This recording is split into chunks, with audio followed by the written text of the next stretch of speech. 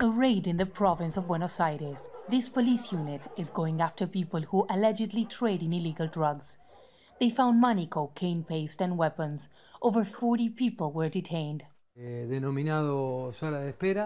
This is a waiting room, a place where drugs are sold. You can see this plastic tube where they hand in drugs and get the money. The war on drugs in countries like Mexico and Colombia have forced cartels to find different routes. And in the last decade, Argentina has become one of them. But now anti drug operations here are on the rise. Argentina's new government is stepping up its efforts. We have seen an increase in police operations in the slums. We are fighting on the ground. There is a political will of zero tolerance. The government wants us to go after everyone involved. We are catching drugs every day. With a new president in power, Argentina is now closer to Washington, a significant change from the previous administration, which challenged United States policies in the region. Last month, the security minister traveled to the U.S. to ask for assistance. Argentina is acknowledging we have a problem and that we need to fight it with whatever help we have.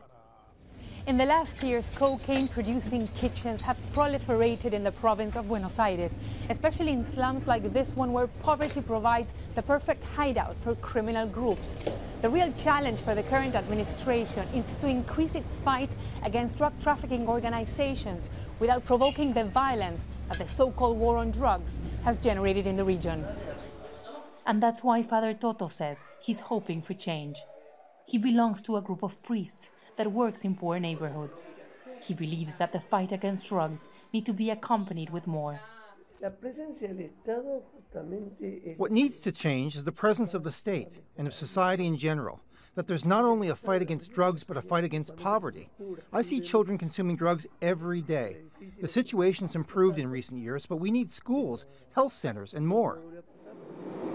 With only nine months in office, the government faces many challenges but it says fighting drugs is a priority that cannot be postponed.